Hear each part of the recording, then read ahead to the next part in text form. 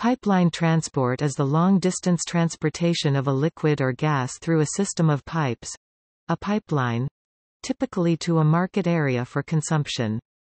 The latest data from 2014 gives a total of slightly less than 2,175,000 miles 3,500,000 kilometers of pipeline in 120 countries of the world. The United States had 65%, Russia had 8%, and Canada had 3%, thus 75% of all pipeline were in these three countries. Pipeline and Gas Journal's worldwide survey figures indicate that 118,623 miles 190,905 kilometers of pipelines are planned and under construction. Of these, 88,976 miles 143,193 kilometers represent projects in the planning and design phase, 29,647 miles 47,712 kilometers reflect pipelines in various stages of construction. Liquids and gases are transported in pipelines and any chemically stable substance can be sent through a pipeline. Pipelines exist for the transport of crude and refined petroleum, fuels, such as oil, natural gas and biofuels, and other fluids including sewage, slurry, water, beer, hot water or steam for shorter distances. Pipelines are useful for transporting water for drinking or irrigation over long distances when it needs to move over hills, or where canals or channels are poor choices due to considerations of evaporation, pollution, or environmental impact. Oil pipelines are made from steel or plastic tubes which are usually buried. The oil is moved through the pipelines by pump stations along the pipeline. Natural gas and similar gaseous fuels are lightly pressurized into liquids known as natural gas liquids NGLs. Natural gas pipelines are constructed of carbon steel. Hydrogen pipeline transport is the transportation of hydrogen through a pipe. Pipelines conveying flammable or explosive material, such as natural gas or oil, pose special safety concerns and there have been various accidents. Pipelines can be the target of theft, vandalism, sabotage, or even terrorist attacks. In war, pipelines are often the target of military attacks.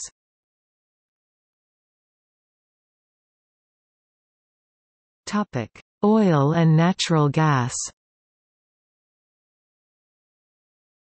It is uncertain when the first crude oil pipeline was built.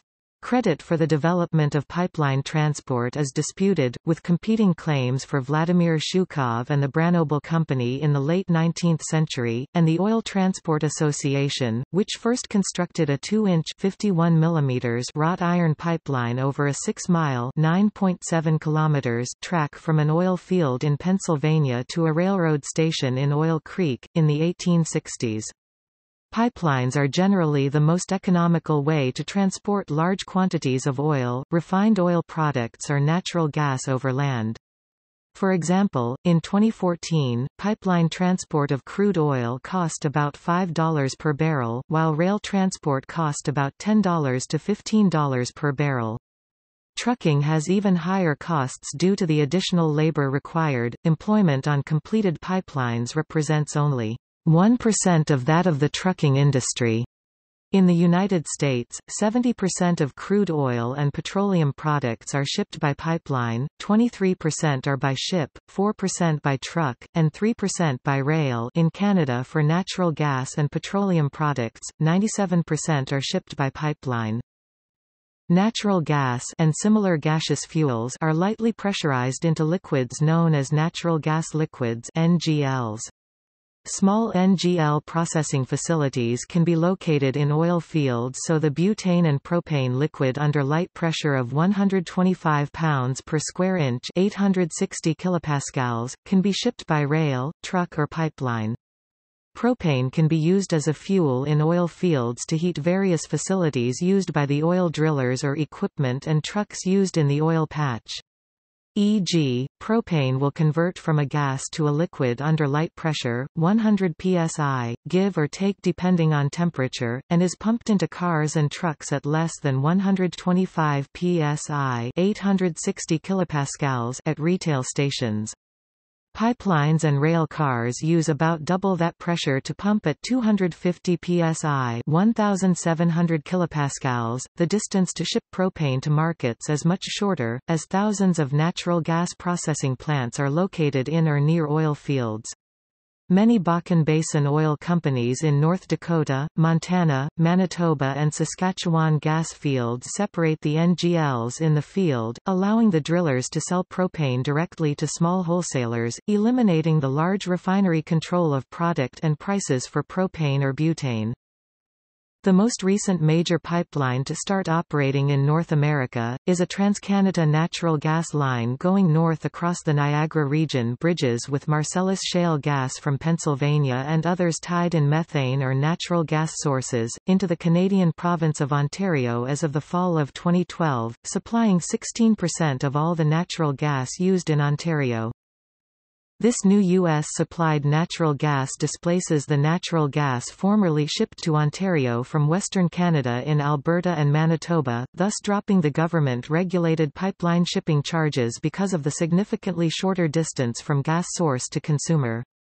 To avoid delays and U.S. government regulation, many small, medium and large oil producers in North Dakota have decided to run an oil pipeline north to Canada to meet up with a Canadian oil pipeline shipping oil from west to east. This allows the Bakken Basin and Three Forks oil producers to get higher negotiated prices for their oil because they will not be restricted to just one wholesale market in the U.S. The distance from the biggest oil patch in North Dakota, in Williston, North Dakota, is only about 85 miles or 137 kilometers to the Canada-US border and Manitoba. Mutual funds and joint ventures are big investors in new oil and gas pipelines. In the fall of 2012, the U.S. began exporting propane to Europe, known as LPG, as wholesale prices there are much higher than in North America. Additionally, a pipeline is currently being constructed from North Dakota to Illinois, commonly known as the Dakota Access Pipeline. As more North American pipelines are built, even more exports of LNG, propane, butane, and other natural gas products occur on all three U.S. coasts. To give insight, North Dakota Bakken region's oil production has grown by 600% from 2007 to 2015. North Dakota oil companies are shipping huge amounts of oil by tanker rail car as they can direct the oil to the market that gives the best price, and rail cars can be used to avoid a congested oil pipeline to get the oil to a different pipeline in order to get the oil to market faster or to a different less busy oil refinery.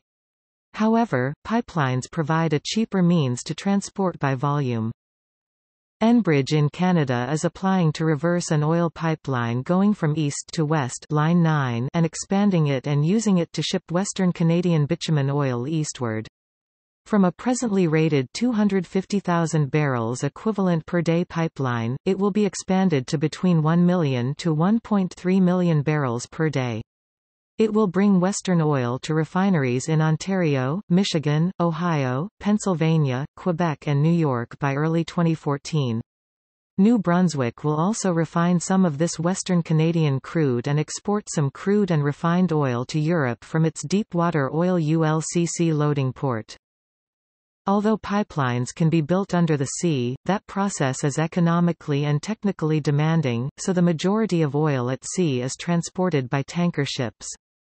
Similarly, it is often more economically feasible to transport natural gas in the form of LNG, however the break-even point between LNG and pipelines would depend on the volume of natural gas and the distance it travels. The Enbridge Sandpiper pipeline is proposed to transfer valuable oil from western North Dakota through northwestern Minnesota.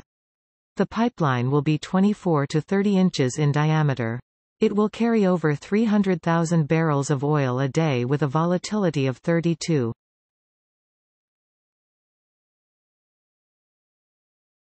Topic: Growth of market.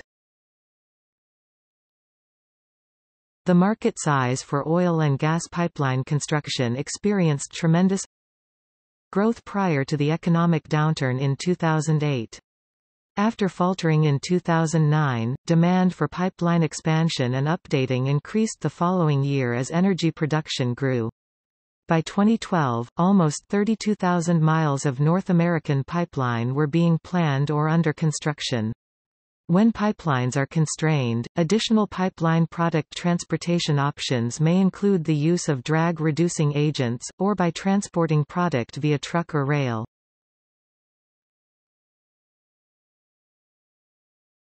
Topic. Construction and operation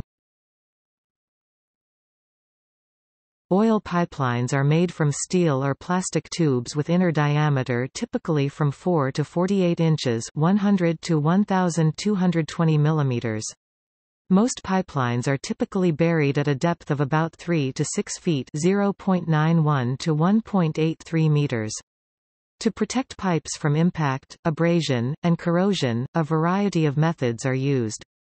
These can include wood lagging wood slats, concrete coating, rock shield, high-density polyethylene, imported sand padding, and padding machines. Crude oil contains varying amounts of paraffin wax and in colder climates wax buildup may occur within a pipeline.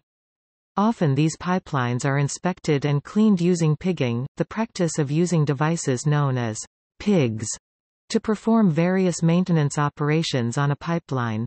The devices are also known as scrapers, or go devils, smart pigs, also known as intelligent or intelligence. Pigs are used to detect anomalies in the pipe such as dents, metal loss caused by corrosion, cracking or other mechanical damage.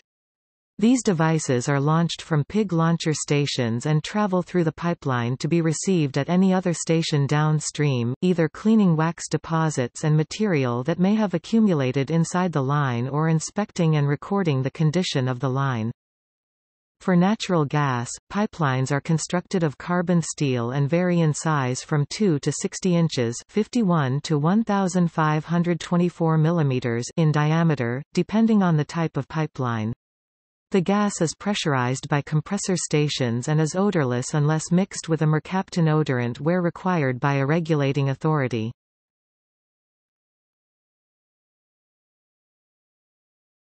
Topic: Ammonia.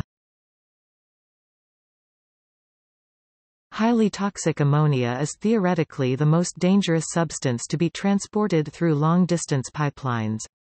However, incidents on ammonia transporting lines are uncommon, unlike on industrial ammonia processing equipment.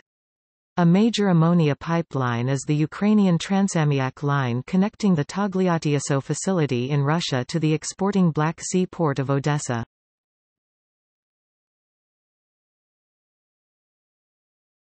Topic: Alcohol fuels. Pipelines have been used for transportation of ethanol in Brazil, and there are several ethanol pipeline projects in Brazil and the United States. The main problems related to the transport of ethanol by pipeline are its corrosive nature and tendency to absorb water and impurities in pipelines, which are not problems with oil and natural gas. Insufficient volumes and cost-effectiveness are other considerations limiting construction of ethanol pipelines.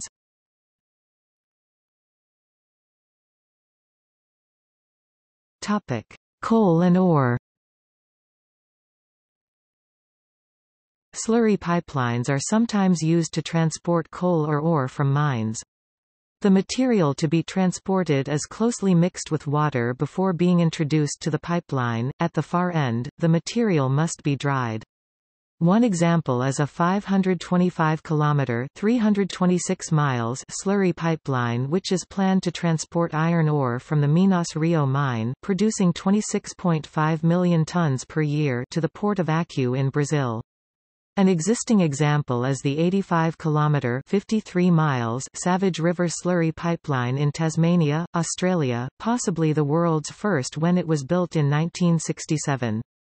It includes a 366-meter (1,201 feet) bridge span at 167 meters (548 feet) above the Savage River.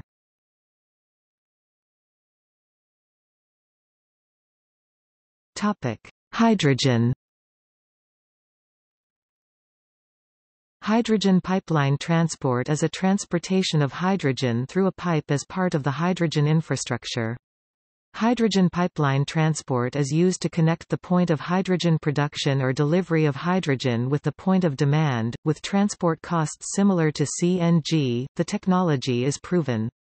Most hydrogen is produced at the place of demand with every 50 to 100 miles 160 kilometers an industrial production facility. The 1938 Rhine-Ruhr 240 km 150 miles hydrogen pipeline is still in operation. As of 2004, there are 900 miles 1,400 kilometers of low-pressure hydrogen pipelines in the U.S. and 930 miles 1,500 kilometers in Europe.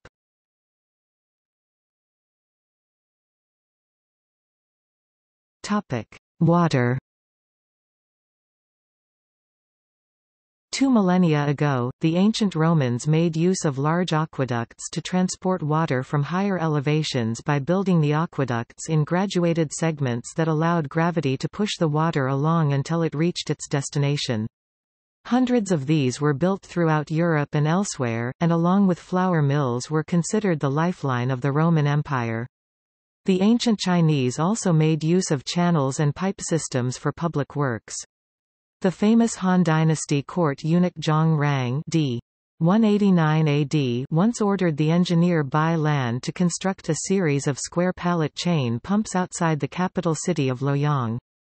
These chain pumps serviced the imperial palaces and living quarters of the capital city as the water lifted by the chain pumps was brought in by a stoneware pipe system. Pipelines are useful for transporting water for drinking or irrigation over long distances when it needs to move over hills, or where canals or channels are poor choices due to considerations of evaporation, pollution, or environmental impact. The 530 kilometers (330 miles) Goldfields water supply scheme in Western Australia using 750 mm 30-inch pipe and completed in 1903 was the largest water supply scheme of its time. Examples of significant water pipelines in South Australia are the Morgan Whyalla pipeline, completed 1944, and Mannum Adelaide pipeline, completed 1955 pipelines, both part of the larger Snowy Mountains scheme. There are two Los Angeles, California aqueducts, the Owens Valley Aqueduct completed 1913 and the second Los Angeles Aqueduct completed 1970 which also include extensive use of pipelines. The Great Man-Made River of Libya supplies 3,680,000 cubic meters 4,810,000 CUYD of water each day to Tripoli, Benghazi, Sirte, and several other cities in Libya. The pipeline is over 2,800 kilometers (1,700 miles) long, and is connected to wells tapping an aquifer over 500 meters (1,600 feet) underground.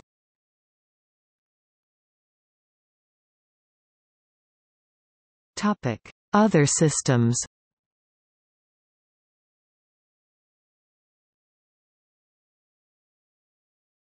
Topic: District heating.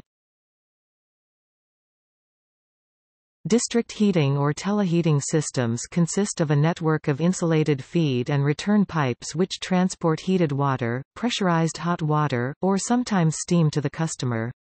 While steam is hottest and may be used in industrial processes due to its higher temperature, it is less efficient to produce and transport due to greater heat losses. Heat transfer oils are generally not used for economic and ecological reasons. The typical annual loss of thermal energy through distribution is around 10%, as seen in Norway's district heating network. District heating pipelines are normally installed underground, with some exceptions.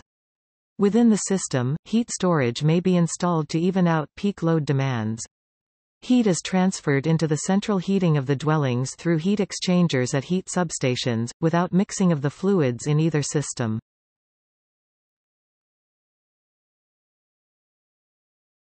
Topic: Beer. Bars in the Veltins Arena, a major football ground in Gelsenkirchen, Germany, are interconnected by a 5-kilometer (3.1 miles) long beer pipeline. In Randers City in Denmark, the so-called Thor beer pipeline was operated. Originally, copper pipes ran directly from the brewery, but when the brewery moved out of the city in the 1990s, Thor Beer replaced it with a giant tank. A 3-kilometre beer pipeline was completed in Bruges, Belgium in September 2016 to reduce truck traffic on the city streets.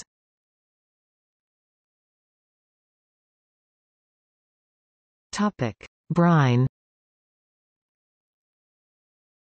The village of Hallstatt in Austria, which is known for its long history of salt mining, claims to contain the oldest industrial pipeline in the world, dating back to 1595. It was constructed from 13,000 hollowed-out tree trunks to transport brine 40 kilometers 25 miles from Hallstatt to Ebensee.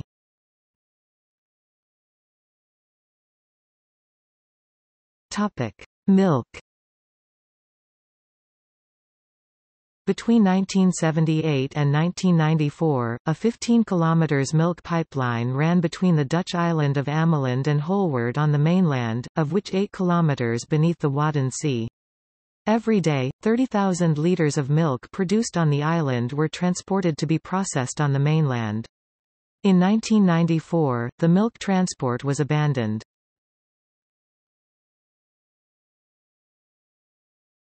Topic. Marine pipelines In places, a pipeline may have to cross water expanses, such as small seas, straits and rivers. In many instances, they lie entirely on the seabed. These pipelines are referred to as marine pipelines also submarine or offshore pipelines. They are used primarily to carry oil or gas, but transportation of water is also important. In offshore projects, a distinction is made between a flowline and a pipeline. The former is an interfield pipeline, in the sense that it is used to connect subsea wellheads, manifolds and the platform within a particular development field. The latter, sometimes referred to as an export pipeline, is used to bring the resource to shore. The construction and maintenance of marine pipelines imply logistical challenges that are different from those on land, mainly because of wave and current dynamics, along with other geohazards.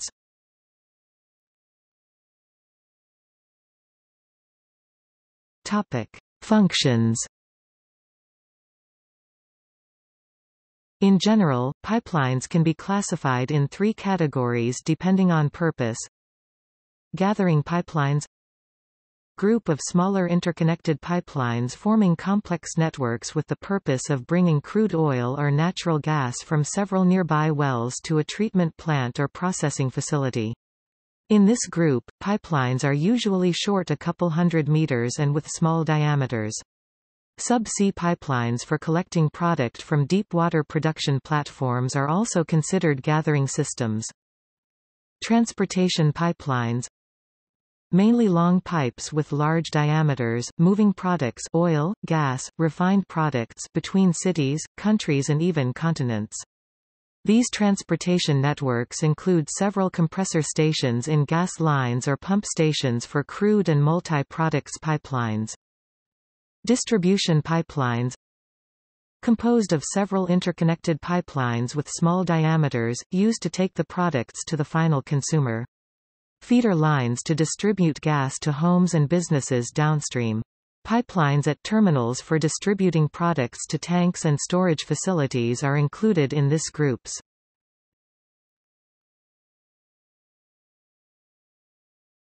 Topic: Development and planning. When a pipeline is built, the construction project not only covers the civil engineering work to lay the pipeline and build the pump, compressor stations, it also has to cover all the work related to the installation of the field devices that will support remote operation. The pipeline is routed along what is known as a right-of-way.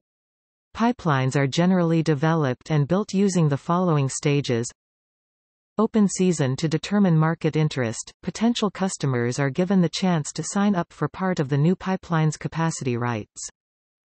Route right of way selection Pipeline design The pipeline project may take a number of forms, including the construction of a new pipeline, conversion of existing pipeline from one fuel type to another, or improvements to facilities on a current pipeline route. Obtaining approval, once the design is finalized and the first pipeline customers have purchased their share of capacity, the project must be approved by the relevant regulatory agencies. Surveying the route Clearing the route Trenching, main route and crossings roads, rail, other pipes, etc. Installing the pipe Installing valves, intersections, etc.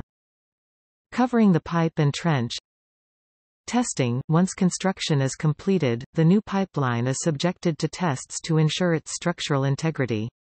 These may include hydrostatic testing and line packing. Russia has pipeline troops as part of the rear services, who are trained to build and repair pipelines. Russia is the only country to have pipeline troops.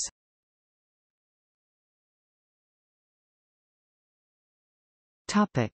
Operation Field devices are instrumentation, data gathering units and communication systems. The field instrumentation includes flow, pressure, and temperature gauges, transmitters, and other devices to measure the relevant data required. These instruments are installed along the pipeline on some specific locations, such as injection or delivery stations, pump stations liquid pipelines or compressor stations gas pipelines, and block valve stations. The information measured by these field instruments is then gathered in local remote terminal units RTU that transfer the field data to a central location in real time using communication systems, such as satellite channels, microwave links, or cellular phone connections. Pipelines are controlled and operated remotely, from what is usually known as the main control room in this center, all the data related to field measurement is consolidated in one central database. The data is received from multiple RTUs along the pipeline.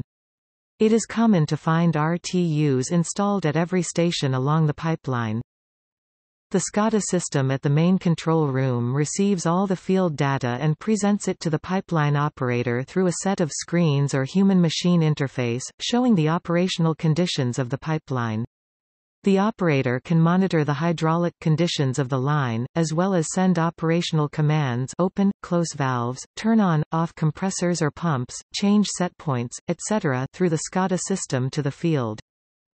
To optimize and secure the operation of these assets, some pipeline companies are using what is called advanced pipeline applications which are software tools installed on top of the SCADA system, that provide extended functionality to perform leak detection, leak location, batch tracking liquid lines, pig tracking, composition tracking, predictive modeling, look-ahead modeling, and operator training.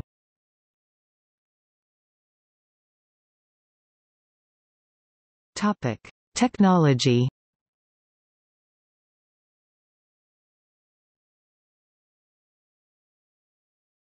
Topic. Components Pipeline networks are composed of several pieces of equipment that operate together to move products from location to location. The main elements of a pipeline system are Initial injection station Known also as supply or inlet station, is the beginning of the system, where the product is injected into the line. Storage facilities, pumps or compressors are usually located at these locations, compressor, pump stations. Pumps for liquid pipelines and compressors for gas pipelines, are located along the line to move the product through the pipeline. The location of these stations is defined by the topography of the terrain, the type of product being transported, or operational conditions of the network. Partial delivery station Known also as Intermediate stations these facilities allow the pipeline operator to deliver part of the product being transported, block valve station. These are the first line of protection for pipelines. With these valves the operator can isolate any segment of the line for maintenance work or isolate a rupture or leak. Block valve stations are usually located every 20 to 30 miles 48 kilometers, depending on the type of pipeline. Even though it is not a design rule, it is a very usual practice in liquid pipelines. The location of these stations depends exclusively on the nature of the product being transported, the trajectory of the pipeline and or the operational conditions of the line. Regulator station this is a special type of valve station, where the operator can release some of the pressure from the line. Regulators are usually located at the downhill side of a peak, final delivery station known also as outlet stations or terminals, this is where the product will be distributed to the consumer. It could be a tank terminal for liquid pipelines or a connection to a distribution network for gas pipelines. Topic leak detection systems Since oil and gas pipelines are an important asset of the economic development of almost any country, it has been required either by government regulations or internal policies to ensure the safety of the assets, and the population and environment where these pipelines run. Pipeline companies face government regulation, environmental constraints and social situations. Government regulations may define minimum staff to run the operation, operator training requirements, pipeline facilities, technology and applications required to ensure operational safety. For example, in the state of Washington it is mandatory for pipeline operators to be able to detect and locate leaks of 8% of maximum flow within 15 minutes or less. Social factors also affect the operation of pipelines. Product theft is sometimes also a problem for pipeline companies. In this case, the detection levels should be under 2% of maximum flow, with a high expectation for location accuracy. Various technologies and strategies have been implemented for monitoring pipelines, from physically walking the lines to satellite surveillance. The most common technology to protect pipelines from occasional leaks is computational pipeline monitoring or CPM. CPM takes information from the field related to pressures, flows, and temperatures to estimate the hydraulic behavior of the product being transported. Once the estimation is completed, the results are compared to other field references to detect the presence of an anomaly or unexpected situation, which may be related to a leak. The American Petroleum Institute has published several articles related to the performance of CPM in liquids pipelines. The API publications are, RAM 1130 Computational Pipeline Monitoring for Liquids Pipelines API 1149 Pipeline Variable Uncertainties and Their Effects on Leak Detectability Where a pipeline containing passes under a road or railway, it is usually enclosed in a protective casing. This casing is vented to the atmosphere to prevent the buildup of flammable gases or corrosive substances, and to allow the air inside the casing to be sampled to detect leaks. The casing vent, a pipe protruding from the ground, often doubles as a warning marker called a casing vent marker.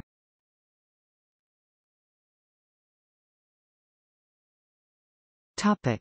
Implementation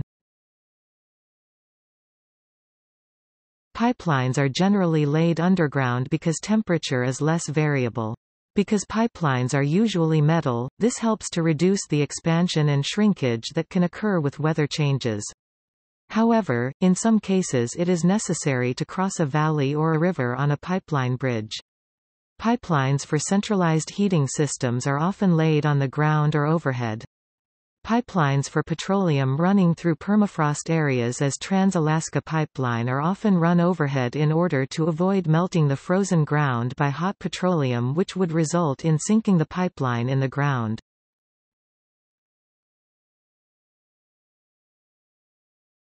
Topic: Maintenance. Maintenance of pipelines includes checking cathodic protection levels for the proper range, surveillance for construction, erosion, or leaks by foot, land vehicle, boat, or air, and running cleaning pigs, when there is anything carried in the pipeline that is corrosive. U.S. pipeline maintenance rules are covered in Code of Federal Regulations CFR sections, 49 CFR 192 for natural gas pipelines, and 49 CFR 195 for petroleum liquid pipelines.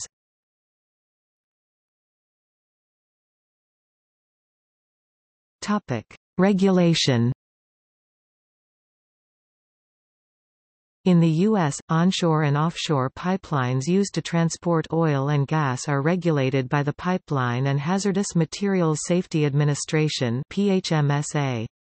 Certain offshore pipelines used to produce oil and gas are regulated by the Minerals Management Service MMS. In Canada, pipelines are regulated by either the provincial regulators or, if they cross provincial boundaries or the Canada-US border, by the National Energy Board NEB. Government regulations in Canada and the United States require that buried fuel pipelines must be protected from corrosion. Often, the most economical method of corrosion control is by use of pipeline coating in conjunction with cathodic protection and technology to monitor the pipeline.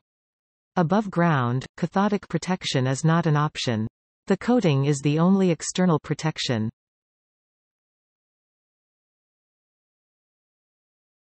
Topic: Pipelines and geopolitics. Pipelines for major energy resources petroleum and natural gas are not merely an element of trade. They connect to issues of geopolitics and international security as well, and the construction, placement, and control of oil and gas pipelines often figure prominently in state interests and actions.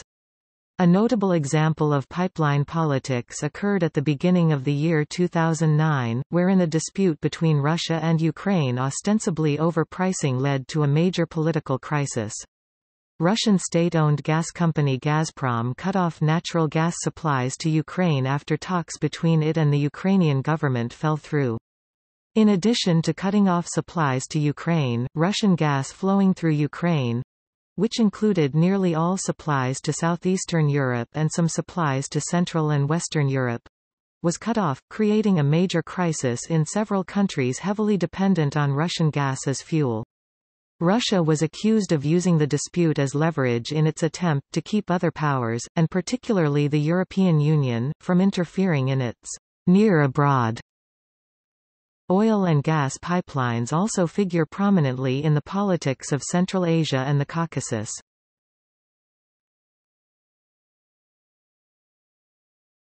Topic: Hazard identification. Because the solvent fraction of dilbit typically comprises volatile aromatics like naphtha and benzene, reasonably rapid carrier vaporization can be expected to follow an above-ground spill, ostensibly enabling timely intervention by leaving only a viscous residue that is slow to migrate. Effective protocols to minimize exposure to petrochemical vapors are well established, and oil spilled from the pipeline would be unlikely to reach the aquifer unless incomplete remediation were followed by the introduction of another carrier e.g. a series of torrential downpours. The introduction of benzene and other volatile organic compounds collectively BTEX to the subterranean environment compounds the threat posed by a pipeline leak. Particularly if followed by rain, a pipeline breach would result in BTEX dissolution and equilibration of benzene in water, followed by percolation of the admixture into the aquifer. Benzene can cause many health problems and is carcinogenic with EPA maximum contaminant level MCL set at 5 micrograms per liter for potable water. Although it is not well studied, single benzene exposure events have been linked to acute carcinogenesis. Additionally, the exposure of livestock, mainly cattle, to benzene has been shown to cause many health issues, such as neurotoxicity, fetal damage, and fatal poisoning. The entire surface of an above-ground pipeline can be directly examined for material breach. Pooled petroleum is unambiguous, readily spotted, and indicates the location of required repairs. Because the effectiveness of remote inspection is limited by the cost of monitoring equipment, gaps between sensors, and data that requires interpretation, small leaks in buried pipe can sometimes go undetected. Pipeline developers do not always prioritize effective surveillance against leaks. Buried pipes draw fewer complaints. They are insulated from extremes in ambient temperature, they are shielded from ultraviolet rays, and they are less exposed to photodegradation. Buried pipes are isolated from airborne debris, electrical storms, tornadoes, hurricanes, hail, and acid rain. They are protected from nesting birds, rutting mammals, and stray buckshot.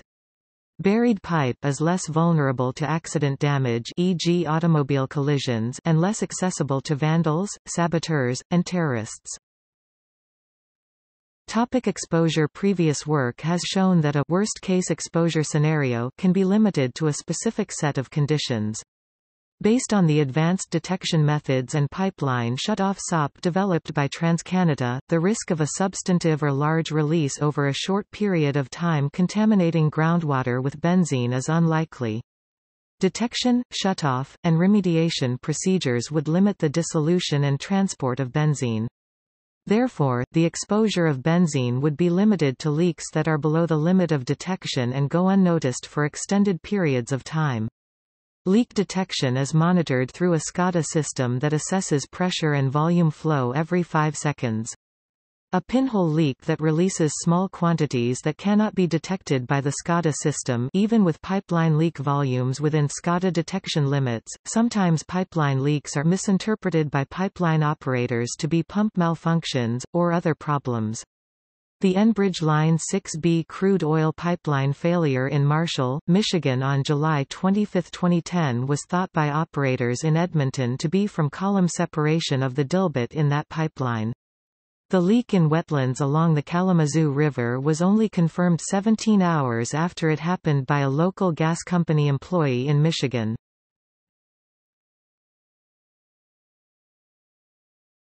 Topic. Spill frequency volume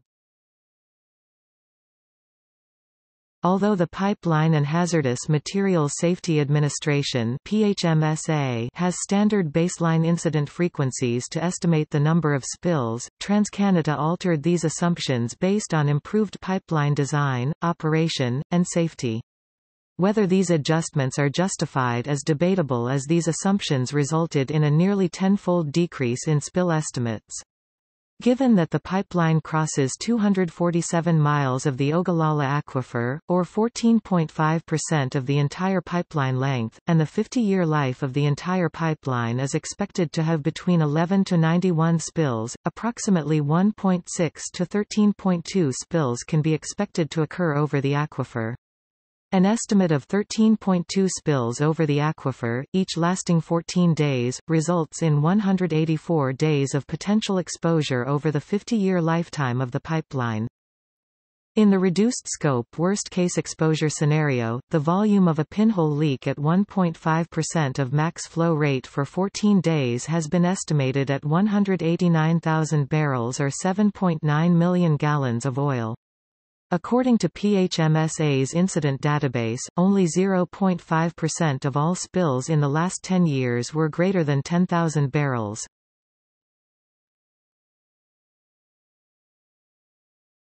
Topic: Benzene fate and transport. Benzene is considered a light aromatic hydrocarbon with high solubility and high volatility. It is unclear how temperature and depth would impact the volatility of benzene, so assumptions have been made that benzene in oil 1% weight by volume would not volatilize before equilibrating with water. Using the octanol water partition coefficient and a 100-year precipitation event for the area, a worst-case estimate of 75 mg per liter of benzene is anticipated to flow toward the aquifer. The actual movement of the plume through groundwater systems is not well described, although one estimate is that up to 4.9 billion gallons of water in the Ogallala aquifer could become contaminated with benzene at concentrations above the MCL. The final environmental impact statement from the State Department does not include a quantitative analysis because it assumed that most benzene will volatilize.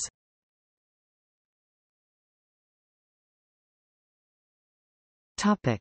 Previous Dilbit spill remediation difficulties One of the major concerns about Dilbit is the difficulty in cleaning it up.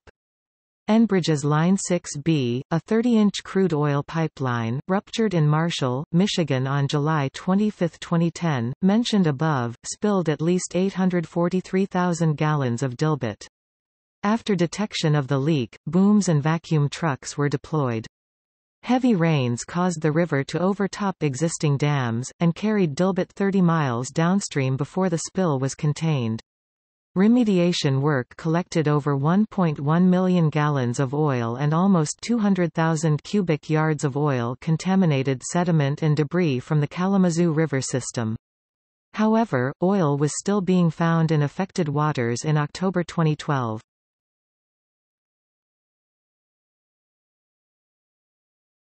Topic: Dangers and environmental impacts.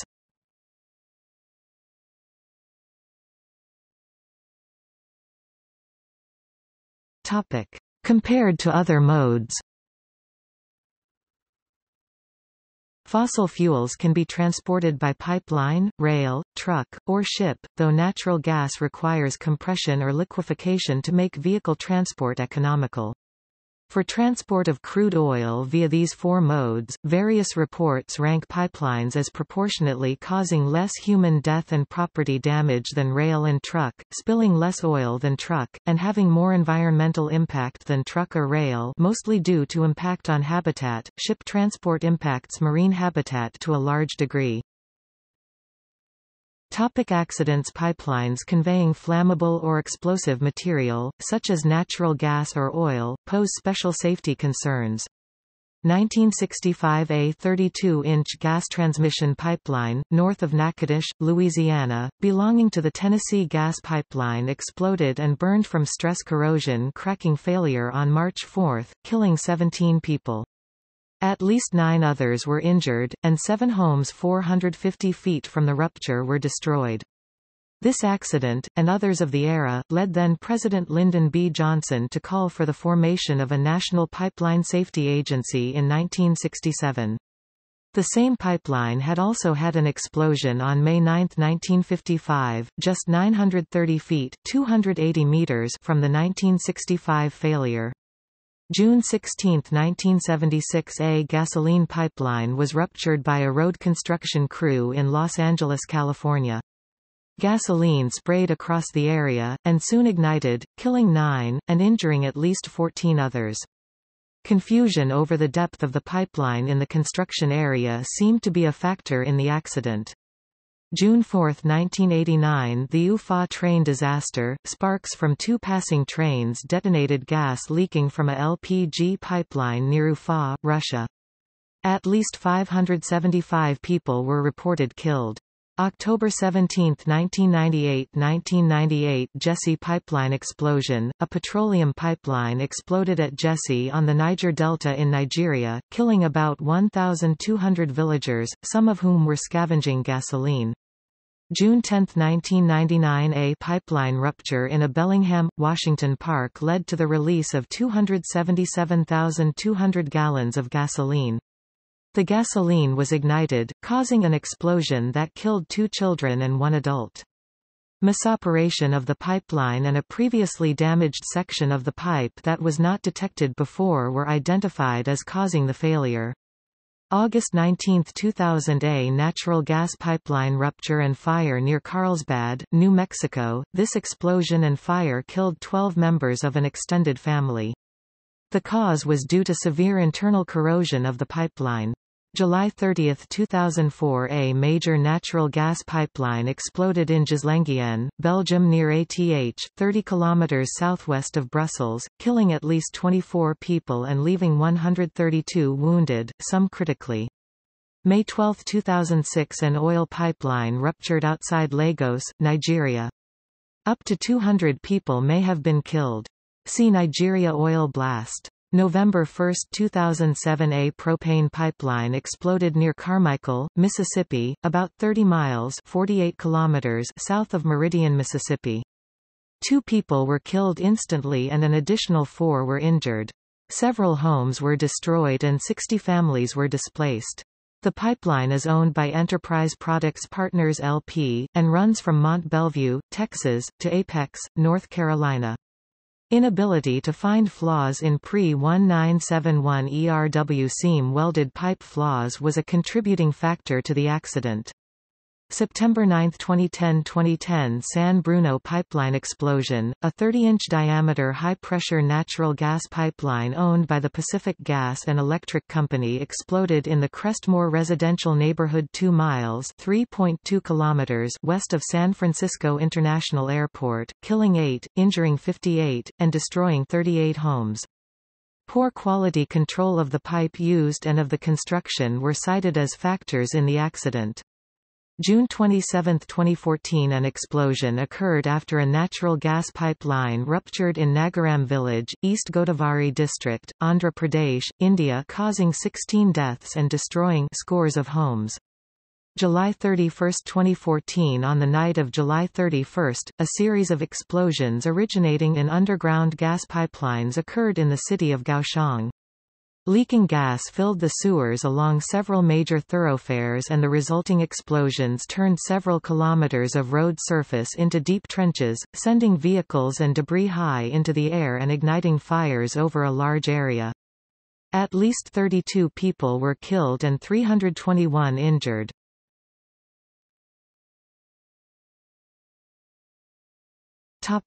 As targets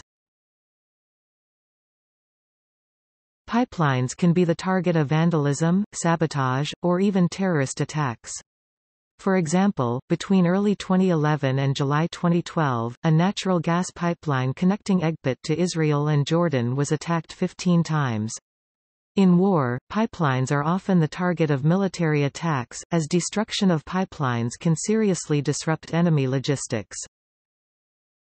See also